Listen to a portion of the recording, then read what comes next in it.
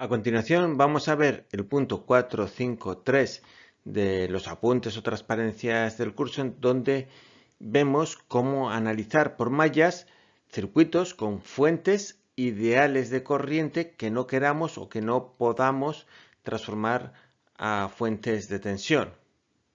Cómo proceder con las fuentes de corriente en circuitos analizados por mallas.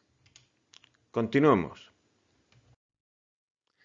Ahora vamos a ver lo que ocurre cuando en nuestro circuito que estamos analizando por mallas hay fuentes ideales de intensidad que no tienen una impedancia en paralelo que permita transformarlas a fuentes de tensión o no me interesa transformarlas, no quiero transformarlas. Como hemos dicho anteriormente, el método de mallas prefiere que las fuentes del circuito sean fuentes de tensión. Como no conocemos la forma de convertir las fuentes ideales de corriente en fuentes ideales de tensión, entonces lo que hay que hacer es encontrar una manera de solventar el inconveniente de que el circuito tiene una fuente ideal de intensidad no transformable. El procedimiento es similar al que empleábamos en el método de nudos cuando teníamos una fuente ideal de tensión. En este caso lo que tenemos es una fuente ideal de intensidad y en todo lo que vamos a hacer es poner una referencia que va a ser la tensión en bornes de esa fuente de intensidad. Da igual el sentido en que se ponga la referencia de tensión. Como todas las referencias, el sentido afecta al signo de los cálculos intermedios, pero no afecta al resultado, que está compuesto por el valor numérico de la tensión a la corriente, pero también eh, asociado a ese valor numérico hay una referencia indicada en el dibujo que juntando valor numérico y referencia interpretamos el resultado. O sea que el resultado es valor numérico más referencia. Recuerden que las fuentes de intensidad, para lograr que a través de ellas circule una determinada corriente, crean en sus bornes una fuerza electromotriz o tensión. La corriente no circula de forma espontánea, sino que tensión y corriente están relacionadas por las leyes de Kirchhoff y los elementos del circuito. Por tanto, es un error conceptual pensar que en una fuente de corriente la tensión en sus bornes es nula. Es un error tan gordo como pensar que por una fuente de tensión no puede circular la corriente. Como es de tensión, ¿cómo va a circular la corriente? Muy mal. Les voy a contar un secreto, a ver si se les queda... La corriente no puede vivir sin la tensión. Entre la corriente y la tensión hay una historia de amor épica. La corriente no encuentra sentido a su existencia sin la tensión. El corazoncito de la tensión no para bombear corriente. Incluso en un superconductor, la corriente se debe crear inicialmente mediante una fuerza electromotriz. Como si fuera una película de Star Wars, la corriente necesita que la fuerza le acompañe. Que la corriente le acompañe. Si en una prueba evaluada veo que en una fuente de corriente dan por hecho que su tensión es nula, desenfundaré mi sable láser rojo para corregir. ¿Les queda claro? Bueno, pues dejémonos de estas cursilerías, pero les tiene que quedar muy muy claro que en un elemento de un circuito solo se anulará la corriente o la tensión si lo dictan las leyes de Kirchhoff al combinarse en los elementos integrantes del circuito. A todos los efectos, la fuente de intensidad se trata como una fuente de tensión de valor desconocido y con la polaridad correspondiente al sentido elegido en su referencia.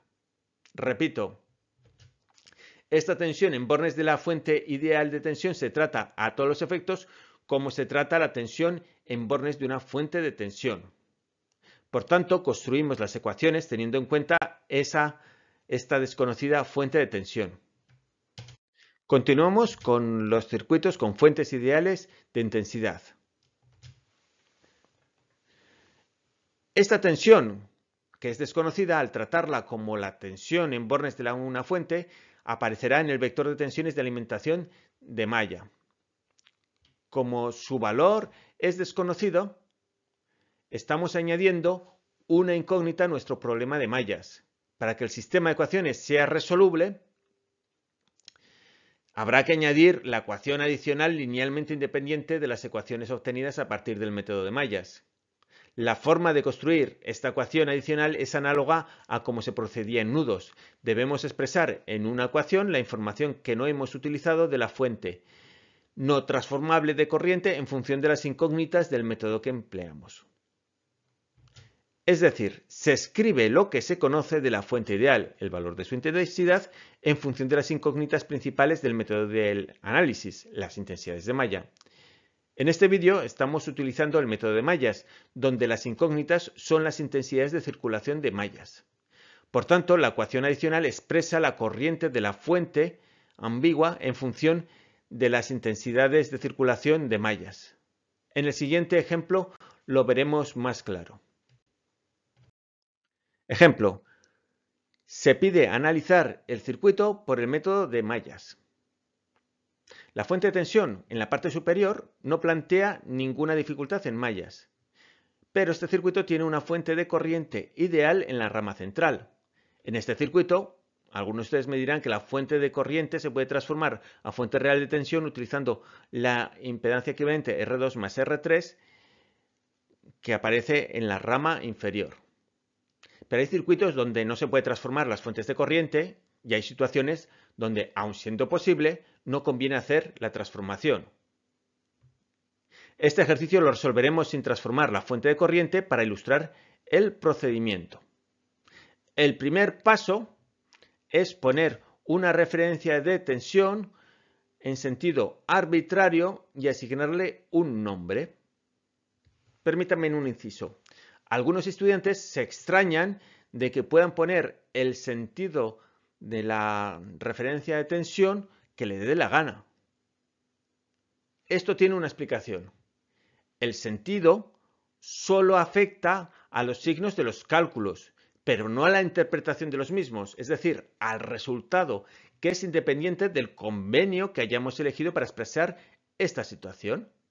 Es decir, que un resultado no solamente es un valor numérico, sino que ese valor numérico tiene que estar asociado a una referencia dibujada en el circuito que nos indique qué criterio o con qué criterio estamos considerando esa tensión o esa corriente.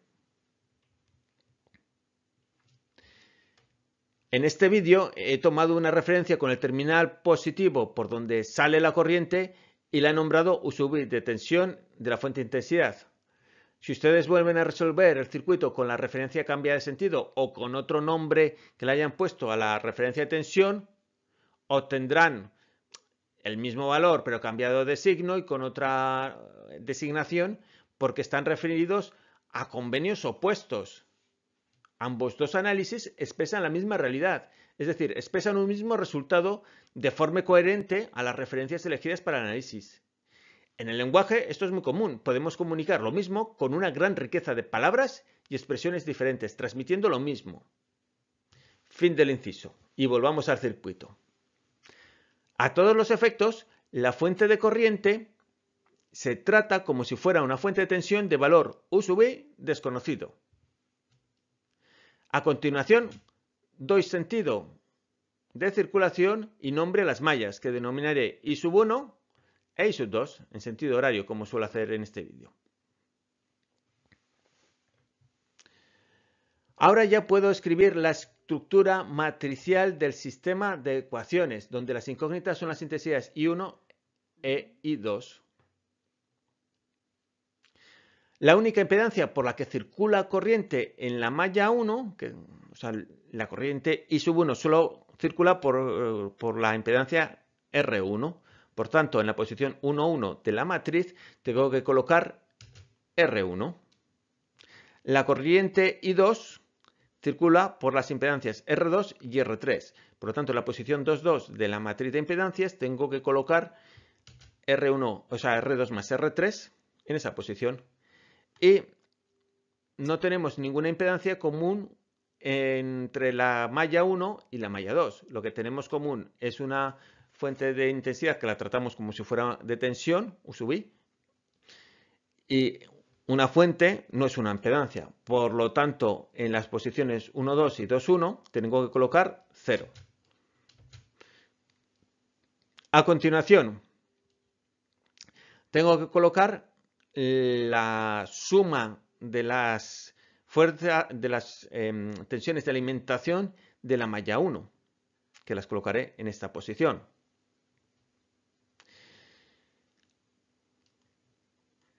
La corriente I sub 1 circula por la fuente de valor E sub G, saliendo por el terminal positivo. Por tanto, anoto la fuente E sub G con signo positivo, porque la corriente I sub 1 sale por el terminal positivo de la fuente. Pero I sub 1 también pasa por la fuente I sub G, que hemos dicho que la trataríamos con una fuente de corriente de valor U sub I. Y la corriente I sub 1 sale por el terminal negativo de esa referencia de tensión. Por tanto, el signo de U sub I es negativo. Apuntamos E sub G, como hemos dicho, positivo porque la corriente sub 1 sale por el positivo y U sub I la apuntamos con signo negativo porque I sub 1 sale por el terminal negativo de la referencia U sub I. I sub 2 también circula por esa fuente de corriente. Como sale I sub 2 por el terminal positivo de U sub I, U la tenemos que mm, anotar con signo positivo. Tenemos dos ecuaciones con tres incógnitas, i sub 1, i sub 2 e i sub i. Necesitamos una ecuación linealmente independiente para resolver el sistema, es decir, una ecuación que aporte información nueva. ¿Qué información falta? Pues que por la rama central, por la rama central circula una corriente I sub G. Pero esto hay que expresarla, esto hay que expresarlo en forma de ecuación. La ecuación adicional es lo que sabemos de la fuente I sub G en función de las incógnitas I1 e I2. I sub G es I sub 2 menos I sub 1. I sub G tiene el mismo sentido que I sub 2 en la fuente y sentido contrario a I sub 1 en la fuente. Por eso I sub 2 va con signo positivo e I sub 1 con negativo. Si hacemos un balance de corrientes en los nudos A o C, o si nos damos cuenta que la intensidad 2 tiene el mismo sentido que I sub G y contrario, I sub 1 es contrario a I sub G, pues obtendremos también la misma ecuación. Por lo tanto, hemos obtenido tres ecuaciones linealmente independientes con tres incógnitas y el sistema tiene solución única. A continuación vamos a realizar el apartado de mallas del ejercicio con numeración 410 en la primera edición del libro de problemas de la asignatura y que pasó a ser el problema 412 en la segunda edición. El libro de problemas lo pueden descargar a través del código QR que aparece en la imagen. Nos piden determinar la potencia absorbida por la fuente de intensidad aplicando el método de análisis por mallas.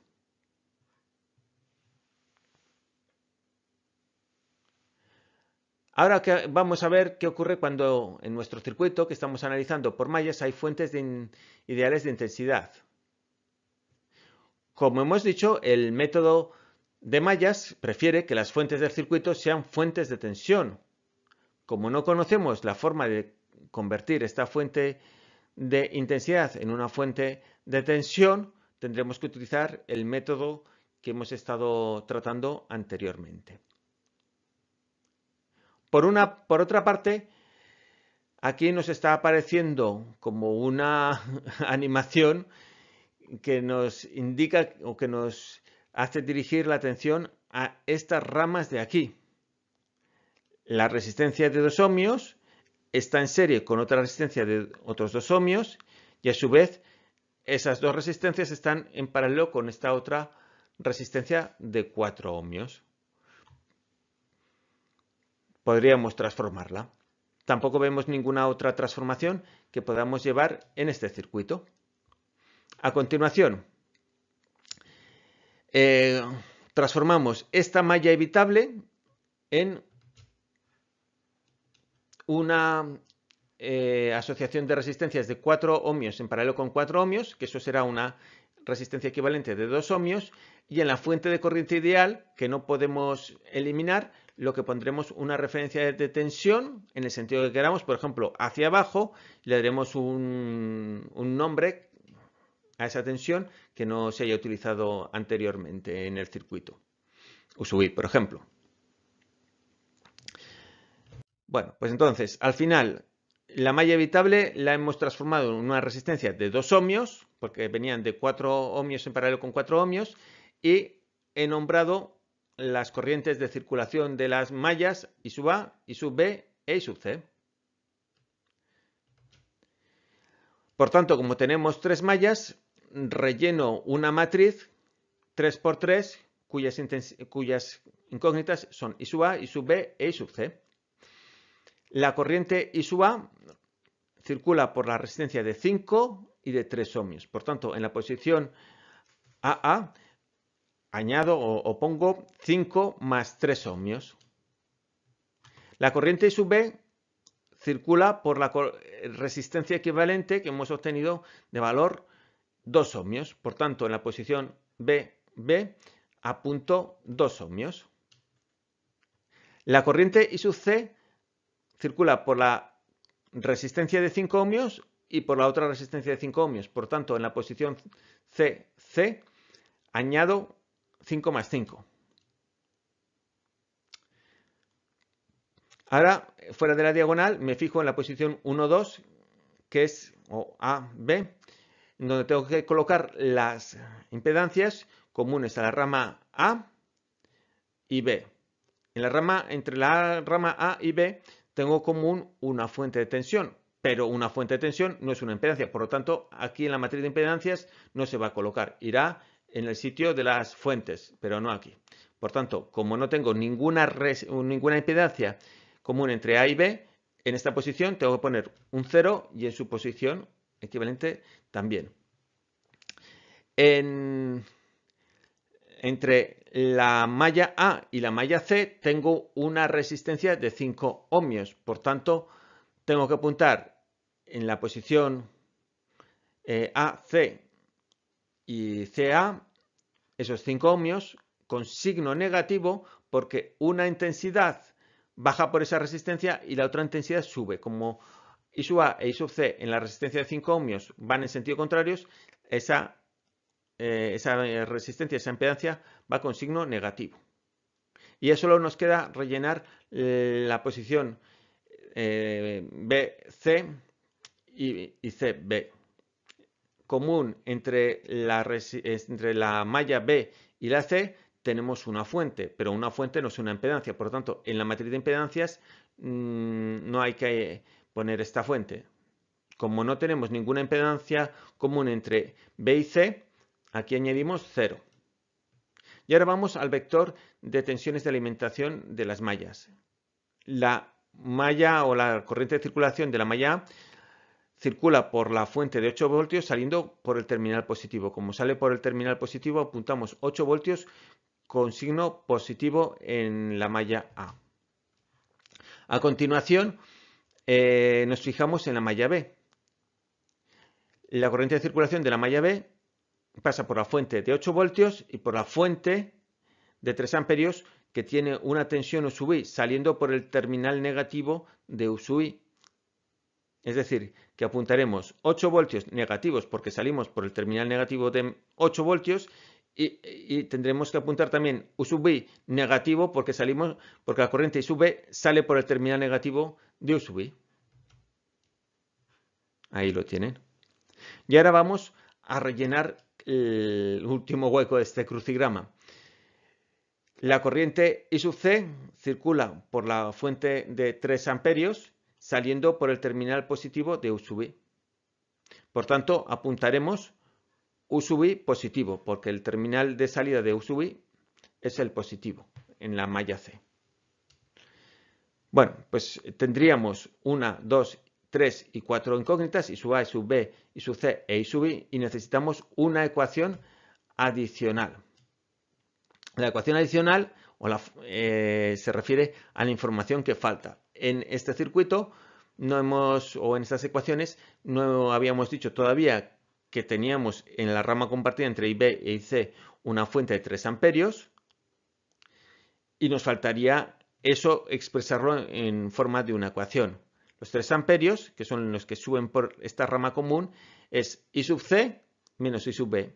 I sub C es positiva porque tanto I sub C como los 3 amperios suben o van en la misma dirección e I sub B es contraria al sentido de la fuente. Por tanto, I sub B va con signo negativo en la ecuación. Y si no, pues podemos plantear aquí un balance de corrientes y nos saldría esta misma, esa misma ecuación. Por esta rama va I sub C, por esta otra en sentido hacia la izquierda también va I sub B y la corriente que sube son 3 amperios. Y saldría esta misma ecuación de aquí. Ya tenemos cuatro ecuaciones con cuatro incógnitas que son linealmente independientes y resolviendo el sistema salen los valores de la transparencia. Con estos valores puedo calcular la potencia en la fuente. La corriente va hacia arriba y la tensión va en sentido contrario. Como estas dos referencias van en sentido contrario, el producto de 3 amperios por la tensión U que son menos 2,67, eh, tiene criterio o representa eh, la potencia cedida por la fuente de 3 amperios. Y esto es una cosa que verán en el tema 3, pero lo adelanto aquí porque me viene muy bien para mm, ilustrar el, problema. Esa potencia que cede la fuente de 3 amperios al resto del circuito, la podemos expresar como la potencia con signo cambiado que absorbe esa misma fuente. En realidad, esta fuente no está cediendo potencia al circuito, sino que está absorbiendo del circuito 8,02 vatios. También verán en el tema 3 que hay un criterio para las potencias que las podemos expresar como la potencia que se cede al resto del circuito o bien la potencia que ese elemento absorbe del resto del circuito. Y los signos irán cambiados. Aquí todo es una cuestión de criterios y referencias, simplemente uno tiene que ser coherente. A continuación, vamos a ver el ejercicio que tiene la numeración 417 en la primera edición del libro de problemas de la asignatura y que aparece con numeración 419 en la segunda edición. Y aquí tienen el QR para eh, descargarlo si no lo tienen. El enunciado me indica utilizar el método de análisis por mallas para calcular el valor de la tensión U. Calcular también la potencia absorbida por la resistencia de 10 ohmios y la suma de potencia cedida por todas las fuentes. Lo primero que nos están indicando aquí es que tenemos una malla evitable porque tenemos algo en paralelo con una fuente ideal de tensión. Esta resistencia se podría eliminar del circuito.